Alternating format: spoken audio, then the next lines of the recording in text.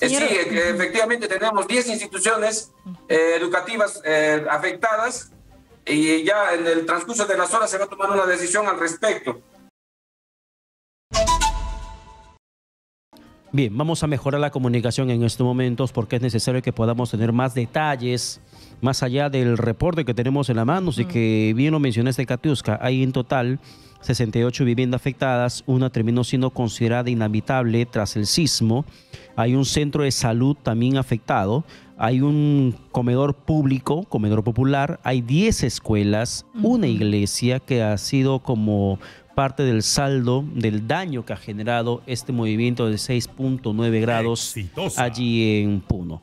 Tenemos la comunicación en estos momentos y nos confirman con José Luis Paredes, jefe de la Oficina Regional de Gestión de Riesgo de Desastres y Seguridad para que nos dé estos detalles de este puno. Así es, Pedro, pero también conocer cuáles son las zonas más afectadas. Recordemos que a veces en las regiones de la sierra no se construye con material noble, sino con quincha y con adobe. Y ante un movimiento telúrico, lógicamente que la casa se desploma. Y estamos conectados entonces con el doctor José Luis Paredes. ¿Cómo está? Buenas noches. Nuevamente bienvenido a Exitosa. Gracias por su tiempo.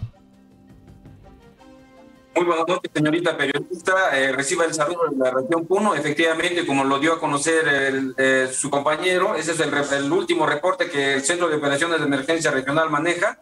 Eh, más tenemos viviendas afectadas, tenemos 84 hasta estas horas de la noche. en los centros de operaciones de emergencia provincial y digital están reportando eh, desde su jurisdicción y nosotros estamos consolidando toda esa información de acá, desde el Centro de Operaciones de Emergencia Regional. Eh, también eh, informar que todas las plataformas de defensa civil, tanto provincial como distrital, también la plataforma regional de defensa civil de la región Puno, se mantienen en sesión permanente para, para actuar si, si es que se produce una réplica del sismo acá en nuestra región, señorita periodista.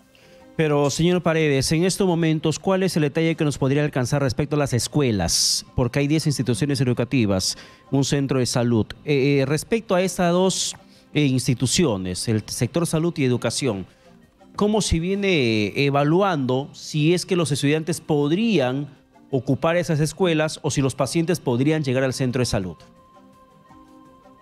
Sí, la Dirección Regional de Salud, con su equipo eh, de respuesta rápida, este, están actuando desde que se produjo este, este sismo. Igualmente, la Dirección Regional de Educación, por disposición del gobierno regional, todo su equipo técnico se encuentran en las zonas evaluando y el día de mañana se determinará el, el nivel de daño para que puedan ver si, si siguen eh, eh, prácticamente las clases funcionando ahí o se les va a trasladar a otro lugar. En el transcurso de las horas ya tendremos esa información, señor periodista.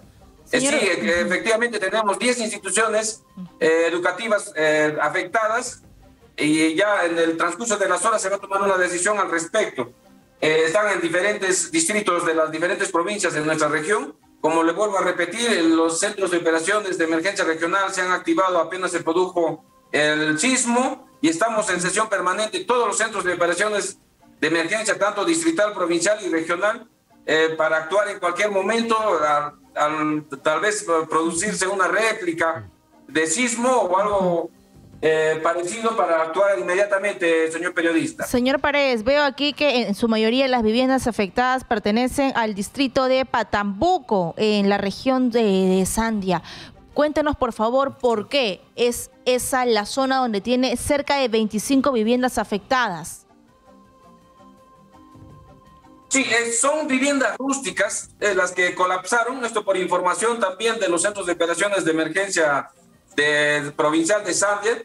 Son eh, viviendas rústicas que no contaban con una buena infraestructura y prácticamente esas son, la mayoría de viviendas afectadas son las, con las que tienen mayor antigüedad, como podemos ver en, en, pantalla. Esas son las, las afectadas, ya prácticamente el, primer nivel de respuesta, que, eso, que es el, distrital, ya actuó, ya atendió a, las personas afectadas.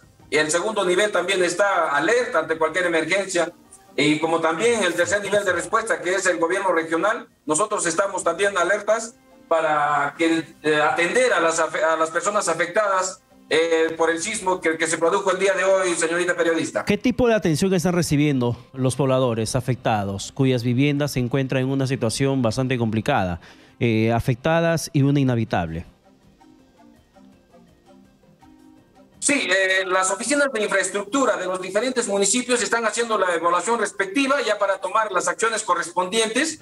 en, seguro esto en plataforma distrital y provincial de defensa civil ya se determinarán las acciones inmediatas eh, eh, para paliar este, estas afectaciones, señor periodista. Claro, pero en el tema, por ejemplo, de la vivienda que se encuentra inhabitable, ¿de qué manera han auxiliado a estas familias?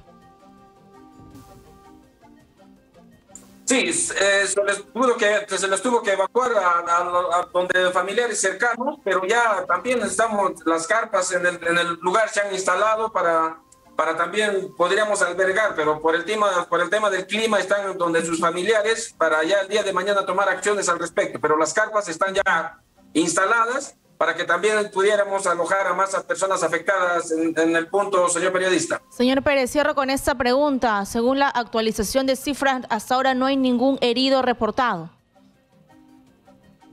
Eh, gracias a Dios, señorita, no tenemos eh, ningún afectado eh, este, no tenemos daños personales hasta, hasta estas horas de la noche y esperamos que siga así, eh, señorita periodista.